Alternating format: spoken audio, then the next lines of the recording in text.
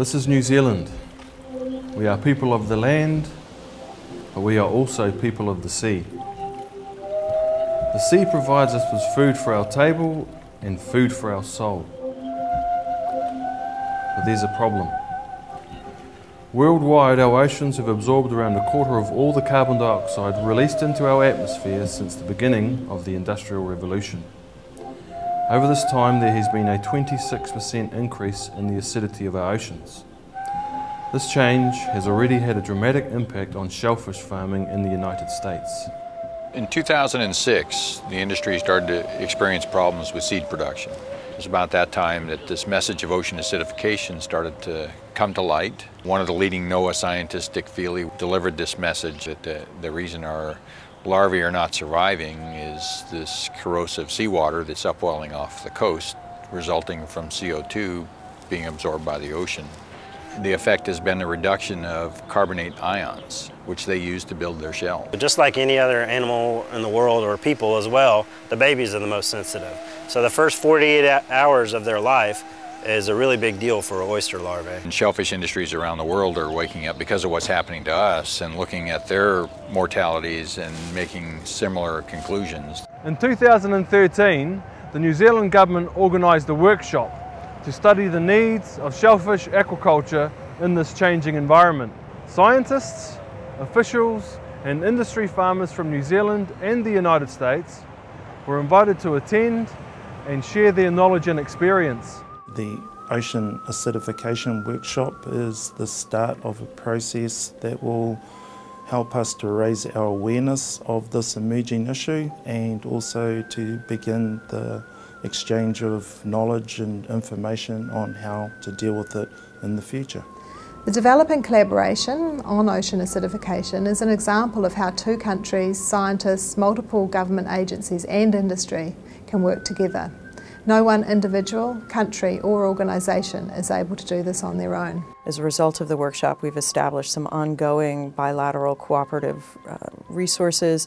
We're sincerely hoping that one of the things we'll be able to do coming out of the workshop is to provide some technology transfer from the United States and New Zealand to our Pacific Island neighbours. In New Zealand, we remain fortunate. We're geographically isolated and as a result of that, we've yet to see any of the ocean acidification phenomena that are affecting the Pacific Northwest of the United States. This is certainly no time for us to become complacent. Our aquaculture industry is dominated by shellfish, in particular two species, the New Zealand green shell mussel and the Pacific oyster. Now, in laboratory trials, both of these species have been shown to be vulnerable to the effects of ocean acidification. We've recently completed some experiments where we looked at later life stages of key New Zealand species, so New Zealand abalone, cockle and oyster, and we subjected them to different conditions of temperature and ocean acidity that are predicted over the following 100 years. And our experiments show quite clearly that these populations are likely to be affected in the future. Working with US industry on ocean acidification, we've learnt one very simple thing. We need good baseline data, we need to have a good ongoing monitoring program to ensure we can be proactive in mitigating the potential impacts of ocean acidification on our industry.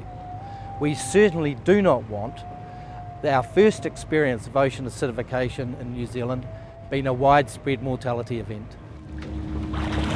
We've been measuring ocean acidification here at this site for 15 years now and we've seen a lot of variability from season to season and from year to year but over the 15 years we've seen an increase in the acidity of the ocean. However, we don't know much about the other waters around New Zealand, particularly coastal waters and those that are important for the aquaculture industry. So we're setting up a coastal ocean acidification monitoring network. So in collaboration with the aquaculture industry, we've chosen some sites that are of importance to them. New Zealand and the United States will continue to collaborate on ocean acidification. And although our two countries are many miles apart, the Pacific Ocean does not separate us. In fact, it connects us. And through our collaborative work, we hope to improve the resilience of all Pacific nations. We owe this to our future generations.